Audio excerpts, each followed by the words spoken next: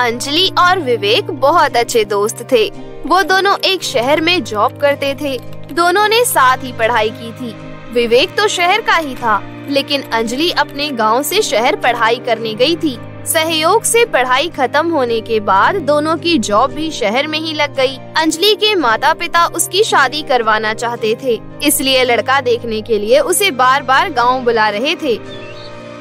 एक दिन विवेक और अंजलि शाम को बर्गर किंग में मिले। वहाँ पर अंजलि थोड़ा उदास सी लग रही थी। उसे उदास देखकर विवेक कहता है ओए तुझे क्या हो गया? तेरे चेहरे पर बारह क्यों बजे हुए हैं? कुछ नहीं यार। लगता है तेरा मूड खराब है। अभी तेरा मूड ठीक कर देता हूँ। उसके बाद विवेक बर्गर ऑर्डर करता है। तब अंजलि कहती है अरे यार मेरा बर्गर खाने का मन नहीं है। अच्छा अभी दो थप्पड़ खाने के बाद तेरा सब कुछ खाने का मन करने लगेगा? विवेक की ये बात सुनकर अंजलि और विवेक हंसने लगते हैं। तब तक उनका ऑर्डर भी आ जाता है। बर्गर खाते खाते अंजलि विवेक को अपनी उदासी का कारण बताती है। अरे यार मैं इसलिए उदास हूँ क्योंकि मेरी आज़ादी अब खोने वाली है। आज़ादी खोने वाली है? मतलब? यार मम्मी पापा बार बार शादी के लिए दबाव दे रहे हैं। उन्होंने गाँव में मेरे लिए एक लड़का भी पसंद कर लिया है। वो चाहते हैं मैं एक बार उससे मिल लूँ। ओए होए तेरी शादी की बात चल रही है? यार बड़ी बेकार है, बताया नहीं तूने।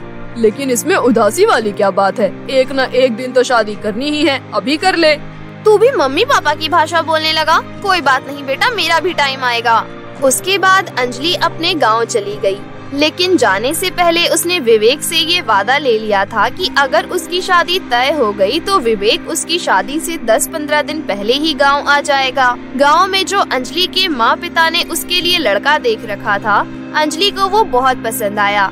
शादी की तारीख भी तय हो गई। अंजलि सबसे पहले विवेक को ये खबर देने के लिए उसे फ़ोन करने लगी। लेकिन बार बार फ़ोन करने के बावजूद भी विवेक फ़ोन नहीं उठा रहा था। फ़ोन क्यों नहीं उठा रहा ये? ज़रूर सो रहा होगा, कुंभकर्ण का भतीजा। हाँ मुश्किल से अभी दो मिनट भी नहीं बीते थे कि विवेक का कॉल बैक आ गया। ओए, तुझे तेरा पति पसंद आया कि नहीं? वो मैं तुझे बाद में बताऊँगी। पहले ये बता तू कहाँ था? कितनी देर से फ़ोन कर रही हूँ मैं तुझे? ज़रूर सो रहा होगा। तू पागल हो गई है। ऑफ़िस में हूँ मैं। ऑफ़िस में भला कौन सोता है? अपनी तरह समझ रखा है क्या? विवेक की बात सुनकर अंजलि हंसने लगी। उसके बाद उसने बताया कि उसकी शादी तय हो गई है। शादी अगले महीने की दस तारीख को है। इसलिए जल्दी से छुट्टी के लिए अप्लाई करके वो गाँव आ जाए। विवेक तो इसी इंतज़ार में था। उसने ऑफ़िस से छुट्टी ली और अंजलि के गाँव की ओर ट्रेन में चल पड़ा। ट्रेन पूरी रफ्तार से चल रही थी और ट्रेन में एक चने वाला चने बेच रहा था। चने चने चने टाइम पास के लिए चने ले लो चने। अरे चने वाले भैया ये रामवती गाँव कहाँ आएगा? बस एक घंटा और बाबूजी तब तक आप ये चने ले लीजिए। खाते खाते आपके रास्ते का पता भी नहीं चलेगा। अंजलि स्टेशन पर ही विवेक को लेने के लिए खड़ी थी। जैसे ही विवेक ट्रेन से उतरा, अंजलि उसे देखकर खुश हो गई। अंजलि के घर विवेक की खूब खातिरदारी हुई। अंजलि ने अपने रिश्तेदारों और गाँव वालों से भी विवेक को मिलाया। विवेक पहली बार इस तरह किसी गाँव को इतनी नज़दीक से देख रहा था, इसलिए उसे बहुत मज़ा आ रहा था। कभी वो अंजलि के साथ खेत देखने चला जाता तो कभी गेहूँ की बुआई देखने लग जाता। कभी नदी से मछली पकड़ता तो कभी गाँव के बच्चों के साथ मज़े करता था।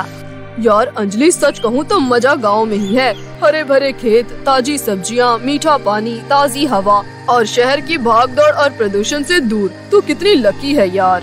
अंजलि की शादी को अब कुछ ही समय बचा था। इसलिए शादी से पहले के सभी रीति रिवाज शुरू हो गए थे। अंजलि को जब हल्दी लगाई जाती तो विवेक उसका खूब मज़ाक उड़ाता था और उसकी तस्वीरें खींचता रहता था। विवेक बहुत खुश था। लेकिन उसे पता नहीं था कि कुछ लोगों ने लगातार उस पर नज़र बना रखी है, जो किसी मौके की तलाश में है। अंजलि की शादी के दो दिन पहले की बात है। विवेक का बहुत मन था कि वो गाँव की नदी में जाकर नहाए। अंजलि तो शादी की रस्मों में बिज़ी थी, इसलिए विवेक अकेले ही नदी पर नहाने चला गया। जब वो वहाँ से नहाकर लौट रहा था, वाह, मज़ा आ गया। कितना ठंडा पानी था यार। वो वापस लौट ही रहा था कि अचानक से कुछ गुंडों ने उसे पीछे से पकड़ लिया और उसके चेहरे पर एक नकाब डाल दिया। कौन कौन है आप लोग? मेरे मुँह पर कपड़ा क्यों डाल रहे हैं? छोड़ो मुझे। उसके बाद उन लोगों ने विवेक को एक गाड़ी में डाला और उसे लेकर जाने लगे। विवेक बहुत चिल्ला रहा था। इसलिए उन लोगों ने इंजेक्शन लगाकर उसको बेहोश कर दिया। जब विवेक को होश आया तो उसने खुद को एक मंदिर में पाया। उसने देखा कि उसके आसपास कई सारे लोग खड़े हैं। उन लोगों को विवेक ने कई बार देखा भी था। लेकिन आज उनके हाथों में मोटे मोटे डंडे थे। विवेक चीखना चाहता था, लेकिन उसके मुँह पर तो टेप लगा हुआ था। उसके कपड़े भी बदले हुए थे और वो दूल्हे की ड्रेस में था। उसे समझ ही नहीं आ रहा था कि ये सब क्या हो रहा है। तभी उन लोगों में से एक आदमी ने उसके मुँह पर चिपका हुआ टेप हटाया। कौन हो तुम लोग? और मेरे साथ ये सब क्या हो रहा है? मुझे जाने दो। मैं तुम्हारे गाँव का भी नहीं हूँ।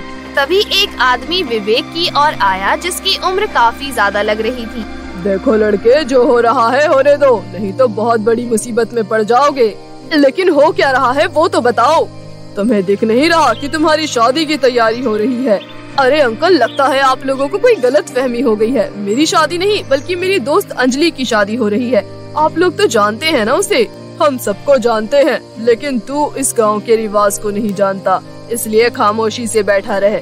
तभी वहाँ पर एक लड़की दुल्हन की ड्रेस में आती है। उसका चेहरा घूंघट से ढका हुआ था। उसे देखकर विवेक के दिल की धड़कन बढ़ने लगी। इसी बीच उसने भागने की कोशिश भी की, लेकिन उसे वहाँ खड़े लोगों ने पकड़ लिया। बेचारा विवेक बहुत परेशान हो गया। गाँव उसे बहुत पसंद आ रहा था, लेकिन बेचारा गाँव में आकर फंस गया। लाख मना करने के बाद भी उन लोगों ने विवेक की शादी उस लड़की से करवा दी। उस लड़की का नाम नीलांजना था। इस बीच अंजलि को भी विवेक की शादी की बात पता चल गई। वो भी भागती भागती मंदिर पहुँची, लेकिन तब तक तो बहुत देर हो चुकी थी। कुवारा विवेक अब शादीशुदा हो चुका था। ये क्या ज़बरदस्ती है यार अंजलि? मैं यहाँ तेरी शादी में आया था। इन लोगों ने ज़बरदस्ती मेरी शादी करवा दी। मैं इस शादी को नहीं मानता। ये शादी कम और गुंडागर्दी ज़्यादा है।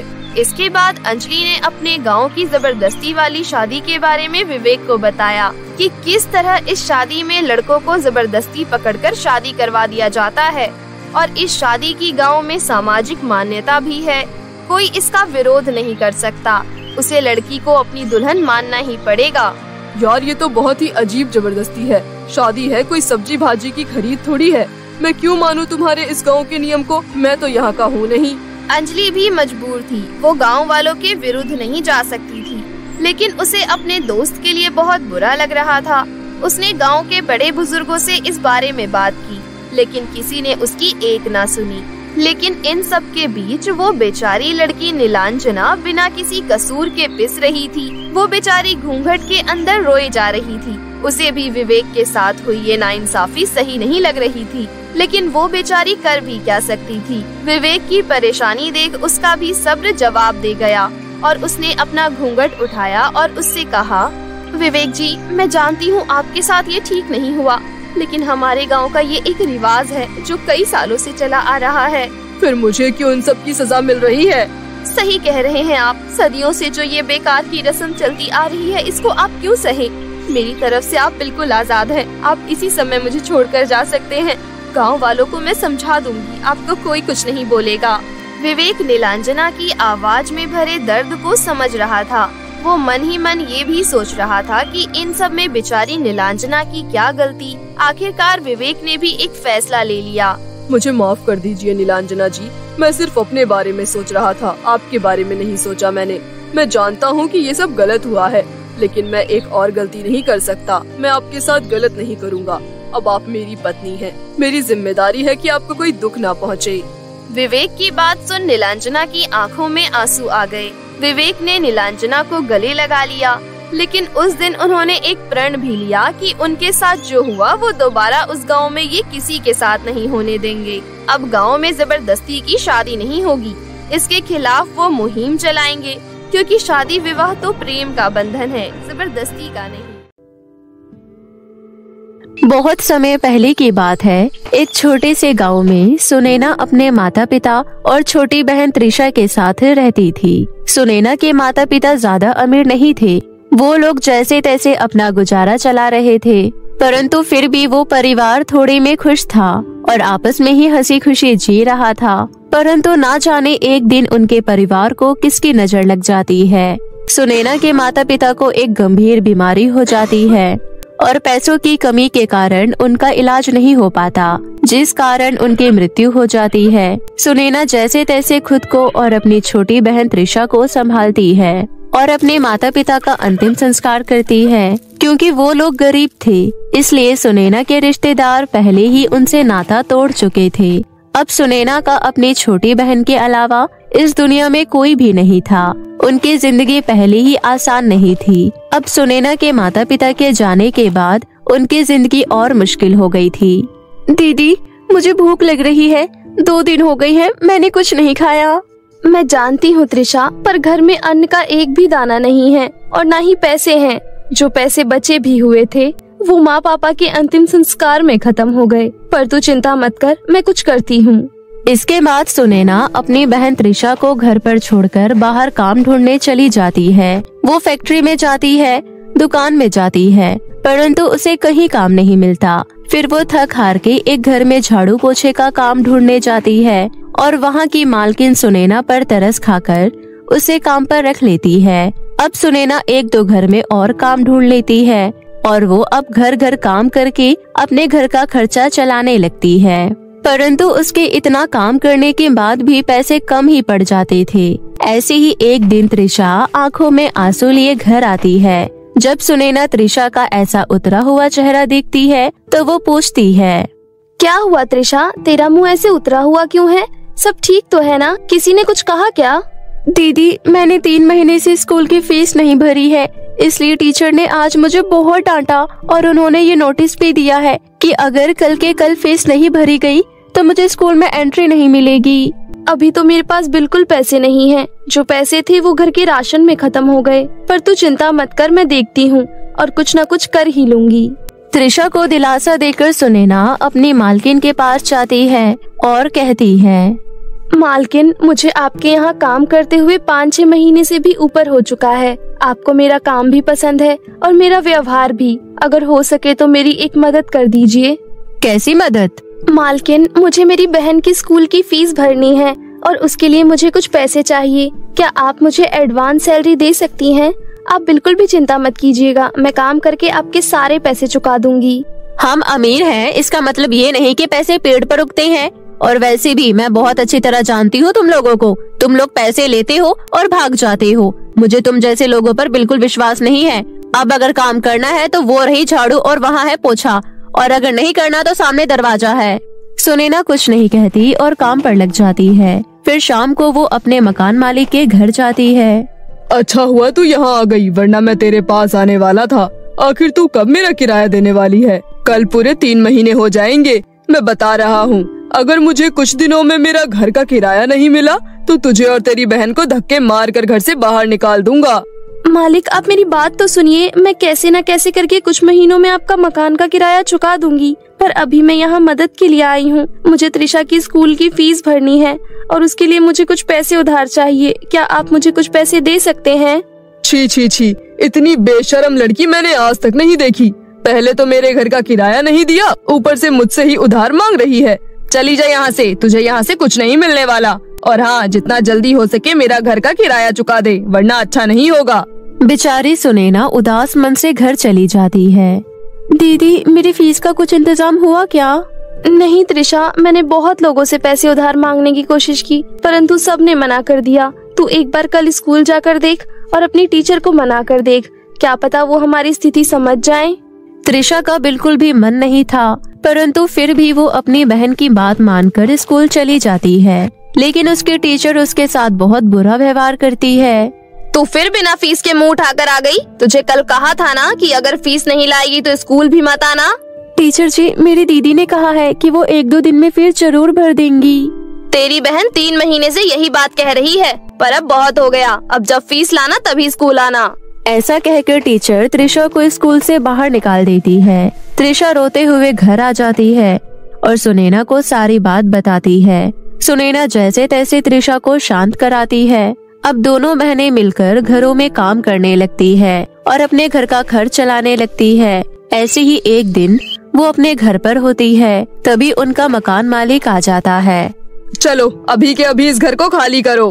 क्या हो गया मालिक? हमने तो आपके तीनों महीनों का किराया चुका दिया है। फिर आप ऐसा क्यों कह रहे हैं? क्योंकि मुझे तुमसे ज़्यादा किराया देने वाला परिवार मिल गया है और वो मुझे किराया भी समय पर देगा। इसलिए मैं नहीं चाहता तुम लोग अब यहाँ रहो। तो इससे पहले कि मैं तुम्हें धक्के मार कर निकालूं, तुम लोग खुद ही अपना बोरिया बिस्तर लेकर यहाँ से निकल जाओ। सुनैना और बहस नहीं करना चाहती थी। इसलिए वो अपनी बहन को लेकर वहाँ से निकल जाती है। वो लोग रास्ते में इधर उधर भटक रहे होते हैं तभी त्रिशा कहती है दीदी अब तो हमारे पास घर भी नहीं है। हम कहाँ जाएँगे क्या खाएँगे और कहाँ रहेंगे? वो तो मैं भी नहीं जानती, पर तू चिंता मत कर। अगर भगवान ने हमें इस स्थिति में डाला है तो वही हमें इससे बाहर निकालेगा। इसके बाद दोनों बहनें एक छोटे से जंगल में पहुँच जाती है और वहाँ के एक घने पेड़ की छाव में बैठ जाती है। वो वहाँ बैठी होती है कि तभी उन्हें एक चीख सुनाई देती है। कोई है? कोई है? कोई तो मेरी मदद करो! ये चीख सुनकर दोनों बहनें आवाज़ की दिशा में जाती है तो उन्हें एक परी कांटों भरी बेल से पेड़ से बंधी हुई दिखाई देती है। दोनों बहनें मिलकर परी को वहाँ से आज़ाद करवाती हैं। आप ठीक तो है ना? इन कांटों वाली बेल की वजह से आपके पूरे शरीर से खून बह रहा है। आपको मरहम पट्टी की ज़रूरत है। अभी मुझे केवल मेरी जादुई छड़ी की ज़रूरत है। पर परी जी आपकी ये हालत कैसे हुई? ये सब एक दुष्ट चुड़ैल ने किया है और उसी की वजह से मेरी ये हालत हुई है। परंतु एक बार मुझे मेरी छड़ी मिल जाए फिर सब कुछ ठीक हो जाएगा। लेकिन उस छड़ी को लाने में मुझे तुम्हारी मदद चाहिए होगी। कैसी मदद? यहाँ से दूर काली घटा पहाड़ी के नीचे दो जादुई सोने और चांदी के घर हैं। उनमें से एक घर में मेरी जादुई छड़ी रखी है। अगर तुम वो छड़ी ले आओ तो मुझ पर तुम्हारा बहुत बड़ा एहसान होगा। और फिर तुम जो चाहोगी मैं तुम्हें वो दे दूँगी।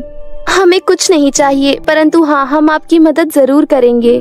ऐसा कहकर सुनेना त्रिशा को लेकर परी की बताई हुई जगह पर पहुँच जाती है। वहाँ उन्हें दो जादुई सोने और चांदी के घर दिखाई देते हैं। पहले सुनेना चांदी के घर की तरफ़ बढ़ने लगती है, तभी सोने के घर में से आवाज़ आती है। लड़की, तुम वहाँ क्यों जा रही हो? तुम मेरे घर के अंदर आओ। मैं जादुई सोने का घर हूँ। मैं इस चांदी के घर से कई ज़्यादा बेहतर हूँ। और मेरे अंदर तुम्हें इस दुनिया के सबसे कीमती हीरे जवाहरात पैसा और बाकी सब कुछ मिलेगा जिसकी तुम्हें ज़रूरत है। मैं इन सब चीज़ों का वादा नहीं करता क्योंकि मेरे घर के अंदर तुम्हें केवल परी की जादुई छड़ी मिलेगी। अगर तुम्हें परी की जादुई छड़ी चाहिए तो तुम मेरे घर के अंदर आकर ले सकती हो। सुनैना बिना देर लगाए चांदी के घर में चली जाती है जहाँ उसे परी की जादुई छड़ी मिल जाती है। सुनैना वो छड़ी लेकर परी के पास जाती है। ये लीजिए परी जी, आपकी जादुई छड़ी। अब आप उस चुड़ैल का सामना बिना किसी डर के कर पाएँगी। सुनैना यहाँ कोई चुड़ैल नहीं है, और मुझे किसी चुड़ैल का सामना नहीं करना है। मैंने तुमसे जो भी कहा था, वो सब एक झूठ था। मैं तो केवल तुम दोनों की परीक्षा लेना चाहती थी। मुझे रानी परी ने यहाँ तुम दोनों की मदद के लिए भेजा था। पर तुम्हारी मदद करने से पहले मैं तुम्हारी अच्छाई की परीक्षा लेना चाहती थी। इसलिए मैंने तुमसे ये सब करवाया और तुम इस परीक्षा में पास हो गई हो। क्योंकि तुम उस सोने के घर की बताई हुई चीज़ों के लालच में नहीं आई। इसलिए अब मैं तुम्हें ये ढेर सारी धन दौलत देना चाहती हूँ। इससे तुम्हारी ज़िंदगी बेहतर हो पाएगी और तुम दोनों एक अच्छा जीवन जी पाओगी। ऐसा कहकर परी वहाँ पर ढेर सारा धन प्रकट कर देती है। आपका बहुत बहुत धन्यवाद, परी जी। आपने हमारी बहुत बड़ी सहायता की है। हमें इस धन की सख्त ज़रूरत थी। इसके बाद परी उन दोनों को आशीर्वाद देकर वहाँ से चली जाती है। सुनैना और त्रिशा उन पैसों से अपने लिए एक बहुत ही अच्छा घर खरीदती है और उन पैसों की मदद से अपना खुद का एक व्यापार भी शुरू कर देती है, जिससे उन्हें अच्छे खासी तरक्की मिल जाती है। एक दिन सुनैना के मकान मालिक को सुनैना और त्रिशा की तरक्की के बारे में पता चलता है। परंतु उसे समझ नहीं आता कि इतनी जल्दी इन दोनों के पास ये सब कैसे आया। आखिर इन दोनों के पास इतना पैसा कहाँ से आया कि इन्होंने इतना बड़ा व्यापार शुरू कर दिया और इतना बड़ा घर ले लिया? ज़रूर इसके पीछे कुछ राज है मुझे पता लगाना होगा। ऐसा कहकर वो मकान मालिक सुनेना और त्रिशा के पास जाता है और भोलेपन का नाटक करता है। बच्चों कैसे हो तुम? मैंने जो भी किया उसके लिए मुझे माफ़ कर दो। मुझे बाद में बड़ा ही पछतावा हुआ और मैंने तुम दोनों को कई जगह ढूंढा भी परंतु तुम दोनों मुझे कहीं नहीं मिली। वैसे तुम दोनों ठीक तो हो ना? जी हम बिल्कुल ठीक हैं और आपको हमारी फ़िक्र हुई ये सुनकर अच्छा लगा। ऐसे ही वो मकान मालिक सुनैना और त्रिशा को अपनी चिकनी चुपड़ी बातों में फंसा लेता है और उनसे सारी सच्चाई जान लेता है। कैसी बेवकूफ़ लड़कियाँ हैं ये दोनों। इनकी जगह मैं होता तो मैं सोने के घर में ही जाता और वहाँ रखे कीमती खजाने का मालिक बन जाता। इसके बाद मकान मालिक सुनैना से उस जगह का पता जान लेता है और वहीं पहुँच जाता है। उसे वहाँ दोनों सोने और चांदी के जादुई घर दिख जाते हैं।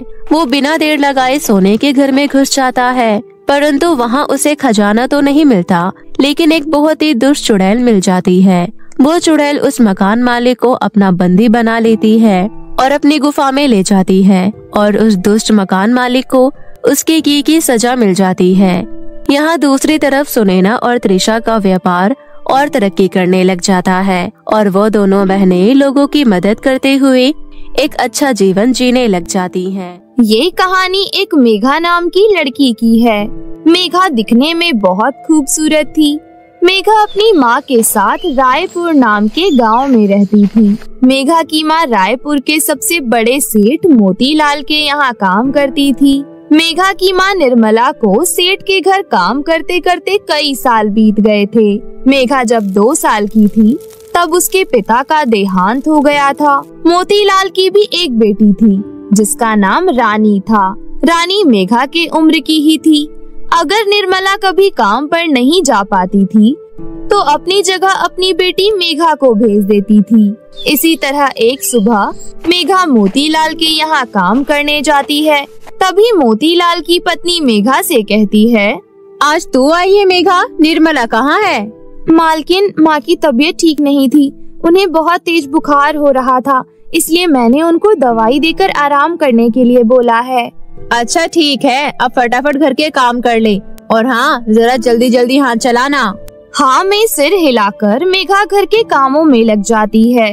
रानी पहले से ही मेघा से बहुत ईर्ष्या करती थी। रानी दिखने में मेघा की तरह खूबसूरत नहीं थी।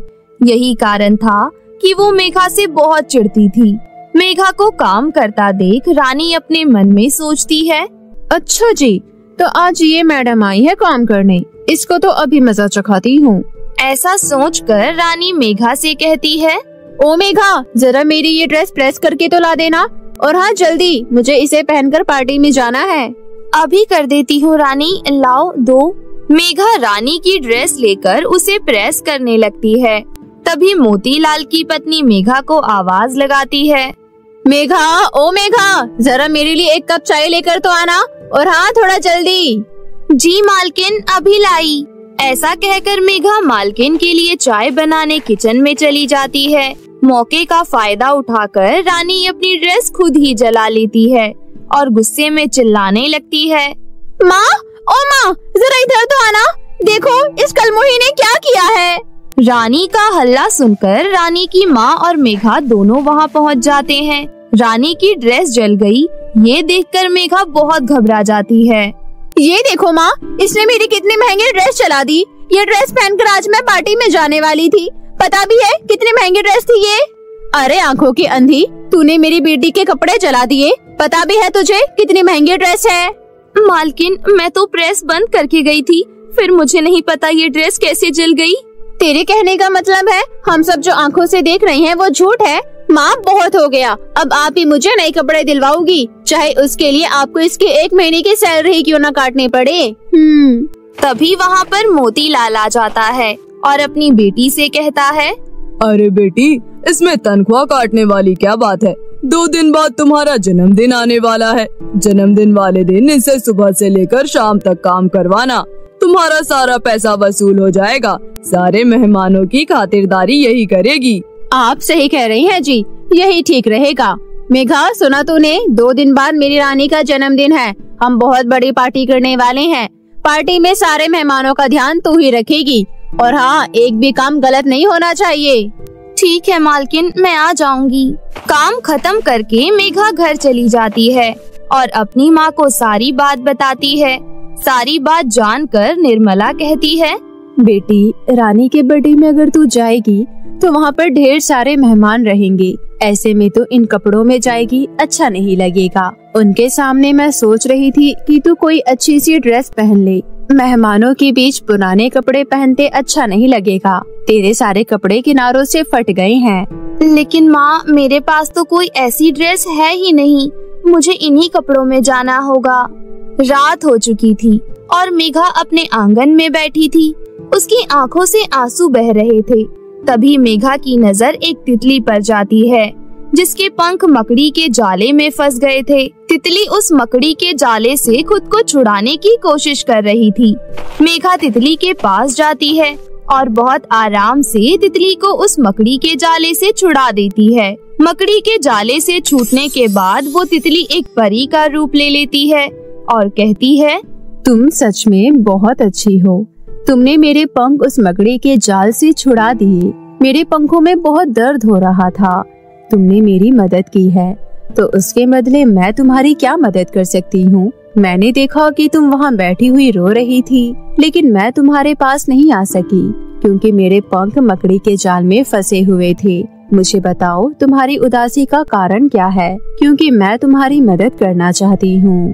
प्यारी परी, कल मेरी मालकिन की बेटी का जन्मदिन है। मुझे वहाँ पर मेहमानों का ध्यान रखने जाना है लेकिन वहाँ जाने के लिए मेरे पास कोई अच्छे कपड़े ही नहीं हैं, इसलिए मैं उदास हूँ।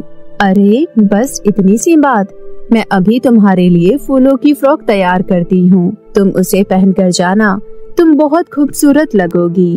इतना कहकर परी जादू करती है और मेघा के सामने एक बहुत खूबसूरत फ्रॉक आ जाती है जिस पर बहुत सारे फूल लगे हुए थे। जिसे देखकर मेघा बहुत खुश होती है। परी, ये फूलों की फ्रॉक तो बहुत खूबसूरत है। तुम्हारा बहुत बहुत शुक्रिया। उसके बाद वो परी वहाँ से गायब हो जाती है। इतनी सुंदर फ्रॉक मिलने से मेघा बहुत खुश थी। मेघा ने घर के अंदर जाकर वो फ्रॉक अपनी माँ को दिखाई। निर्मला भी वो फ्रॉक देखकर बहुत खुश हुई। मेघा, ये फ्रॉक तो बहुत खूबसूरत है। देखना पूरी पार्टी में मेरी बच्ची सबसे ज़्यादा खूबसूरत लगेगी। अगले दिन मेघा वो खूबसूरत सी फ्रॉक पहनकर पार्टी में जाती है और सभी मेहमानों का ध्यान रखने लगती है। पार्टी में रानी का एक दोस्त अभिषेक आया था, जो बहुत ही स्मार्ट था। उसने रानी को तोहफा दिया। तब रानी बोली, तुम्हारा बहुत बहुत शुक्रिया अभिषेक। मुझे पता है तुम्हारा दिया हुआ तोहफा बहुत कीमती होगा। तभी अभिषेक की नज़र मेघा पर जाती है। और वो मेघा को देखता ही रह जाता है। रानी को ये सब बिल्कुल अच्छा नहीं लग रहा था। वो मन ही मन जल भुन कर राख हो रही थी। रानी अपने दिमाग में एक घटिया सा प्लान बनाती है।